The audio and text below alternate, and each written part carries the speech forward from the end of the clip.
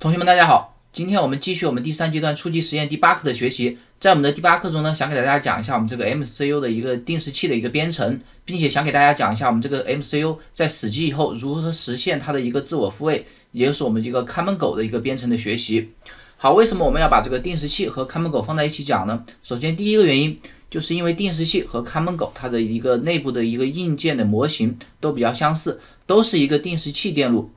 其次呢。定时器和看门狗呢，相对而言都比较简单，因此呢，把这两个内容我们放在一起进行一个学习。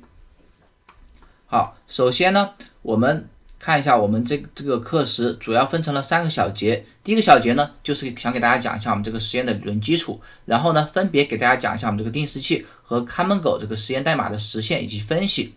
好，我们开始我们第一小节的讲解。在第一个小节中呢，想给大家讲解以下四个知识点。首先呢，就是我们这个实验的需求分析以及实验目的，然后呢，就是我们这个嵌入式开发必知会的第六个小课，也就是我们要了解我们这个定时器以及看门狗。接着呢，就要学习一下我们这个 STM32F407 里面定时器的特性以及我们这个看门狗的一个特性。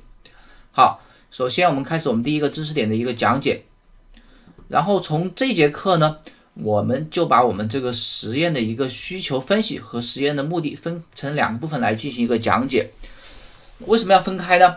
因为需求和目的实际上是不一样的一个两个概念。首先，实验的一个需求呢，就和我们以后大家如果要做项目，就和我们这个项目需求差不多，就是要求我们在我们这个项目中要实现哪些功能，达到哪些指标。而我们的实验目的呢，就是针对我们这个课程的一个学习来讲的，也就是我们在学学习完我们这个实验以后呢，需要了解。以及学会哪些知识点和了解哪些内容。好，我们首先来看一下我们的需求分析。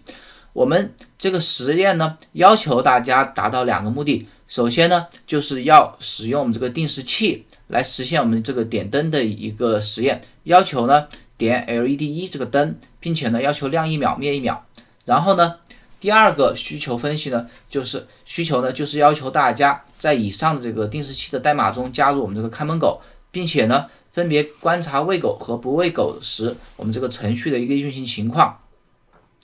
然后我们这个实验目的呢，主要有以下五点。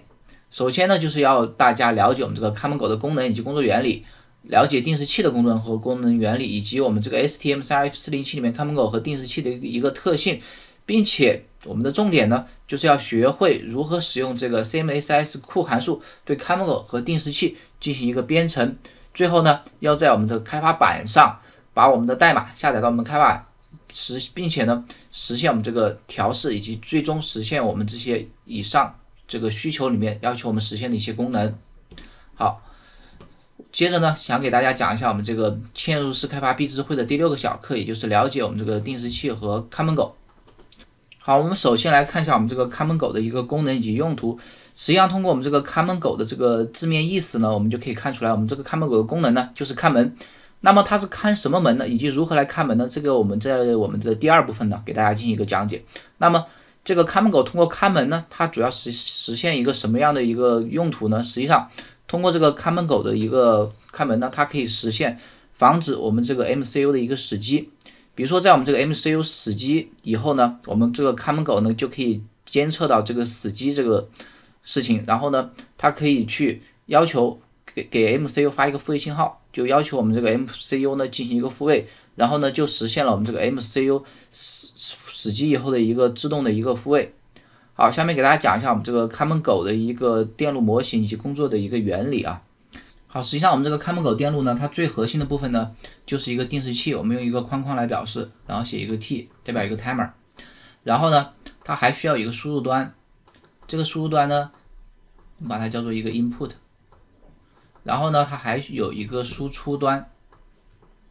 好，这个输出端呢，一般连接到我们这个 MCU 的复位端，因此我们把它叫做 RST，好，然后这三个部分呢，就构成了我们的一个看门狗电路。我们把看门狗呢用英文来缩写来表示呢，就是一个 WDT，也就是 Watchdog Timer。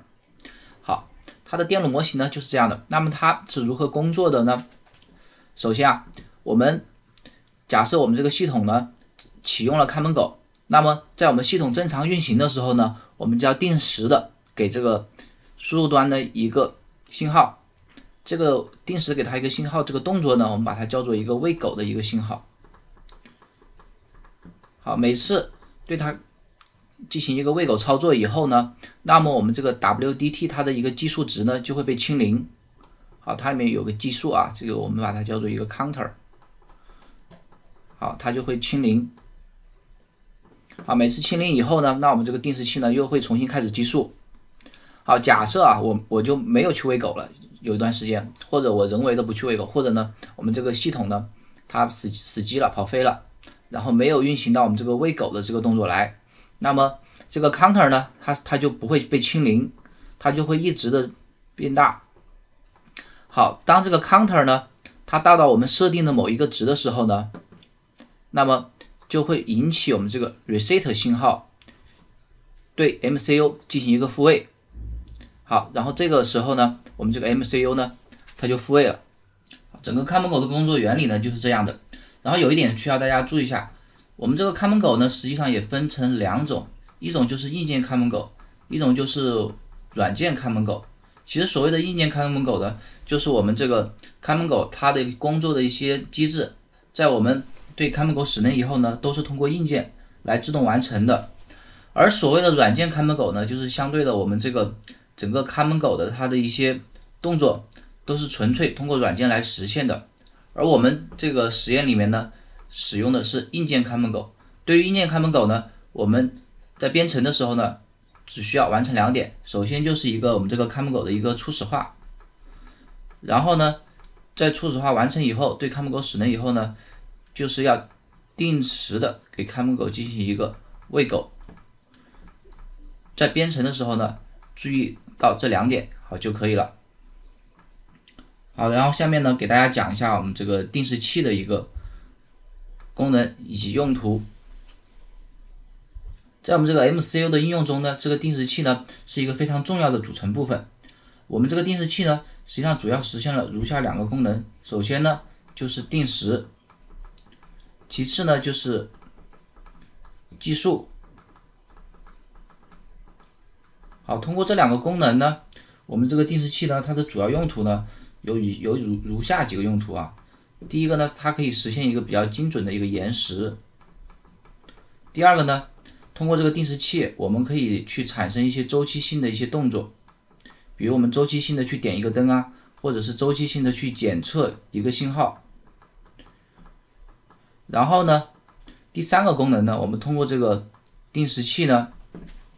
我们可以测量进行对一些输入信号进行测量。我们可以测量输入信号的一些宽度，或者呢，我们甚至可以生成一些输出的波形。好，下面给大家讲一下我们这个定时器的工作原理。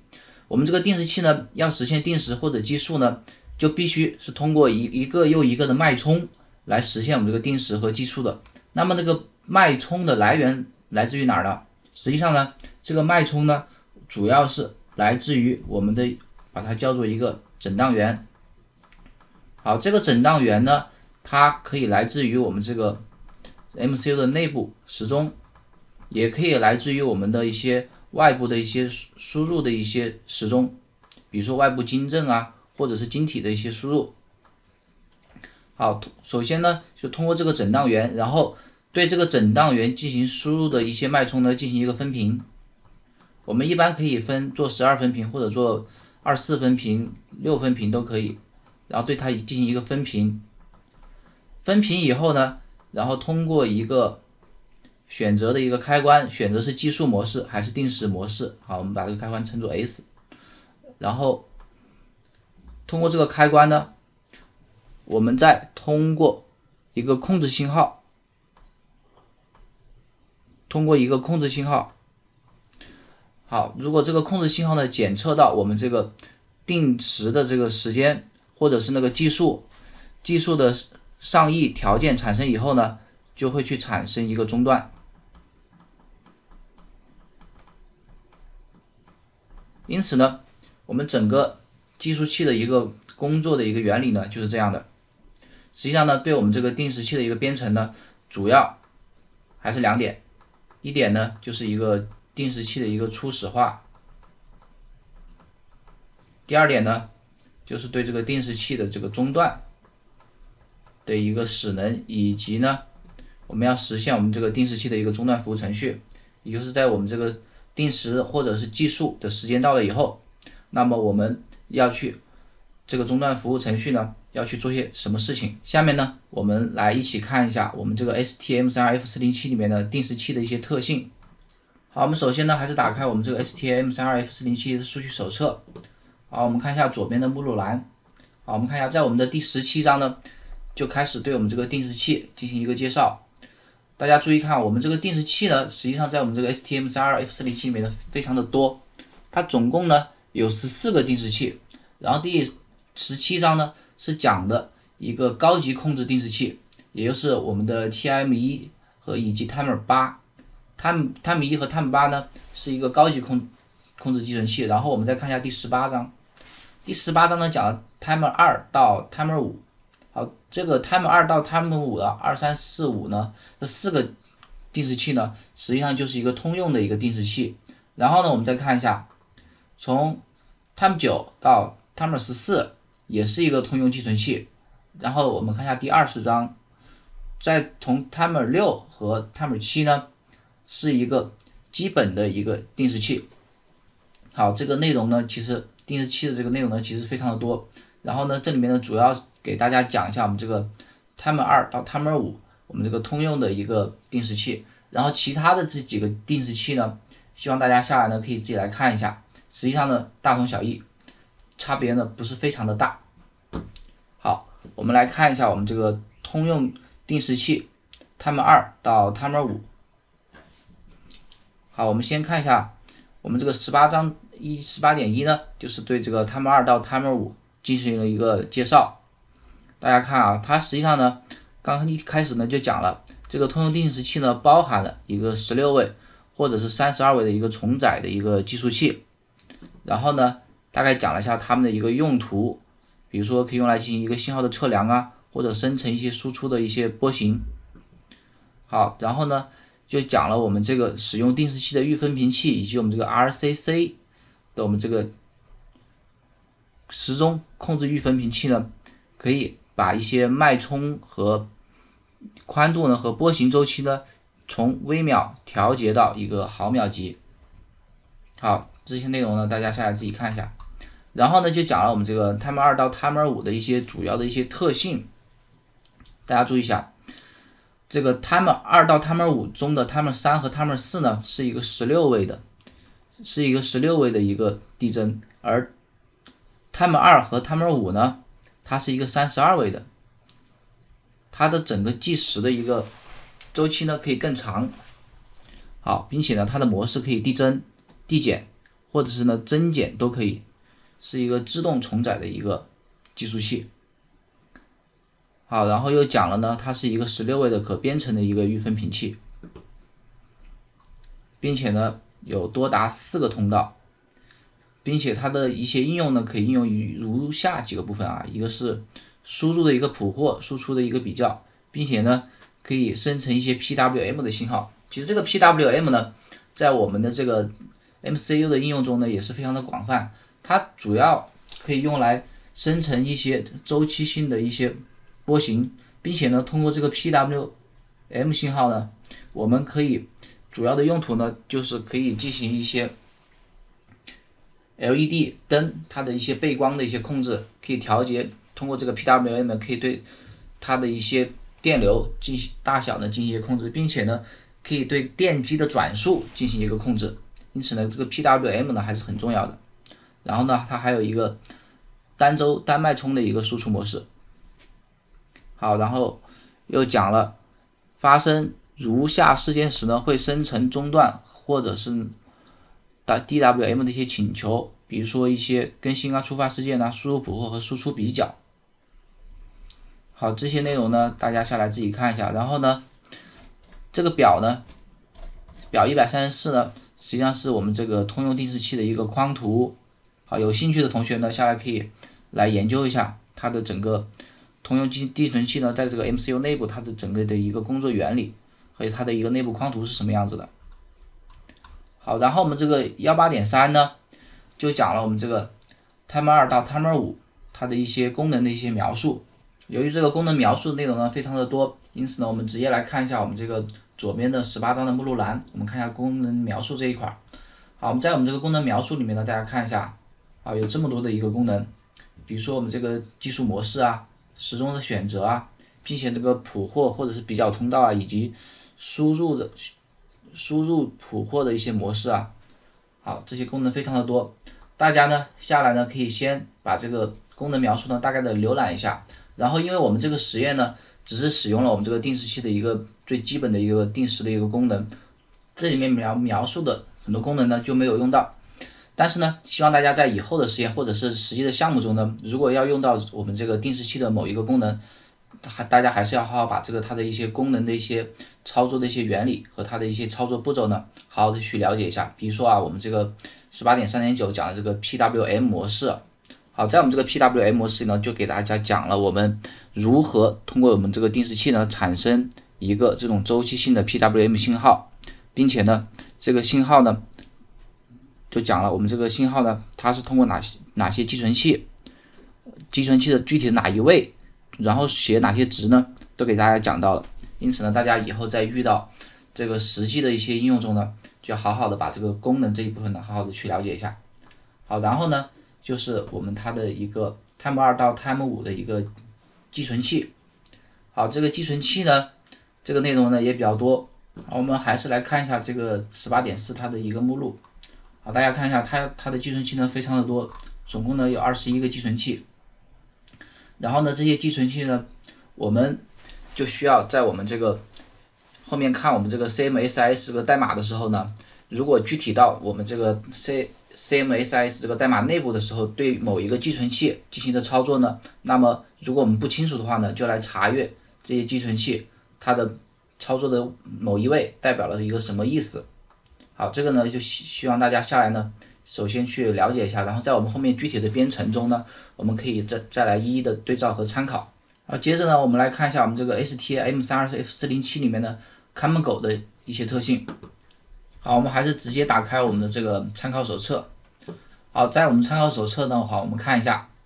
好，在我们的二十一章和二十二章呢，就分别讲了两种看门狗。大家注意一下，我们的二十一章介绍的是我们的独立看门狗，这个独立看门狗呢，也是我们这个实验课程里面的要使用的看门狗。而我们的二十二章呢，讲了我们的一个窗口看门狗。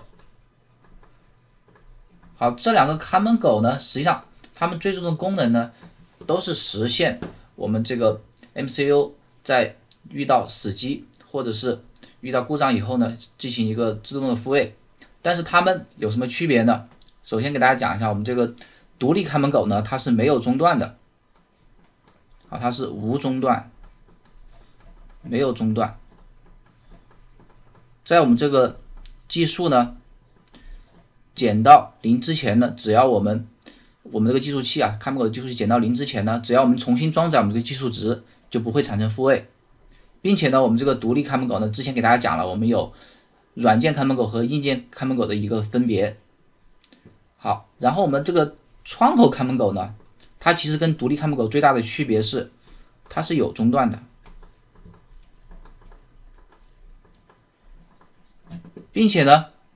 这个中断呢是在我们它的这个功能呢是在我们这个计数器达到下限零 x 零的时候呢就会产生，就会让你去喂狗。如果这个时候你不喂狗呢，我们当这个计数器的值变为零 x 三 f 的时候，啊，零 x 三 f 的时候，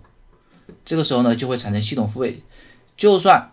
这个时候喂狗呢，我们喂狗呢也应该在我们这个中断里面快速的喂狗，要不然呢时间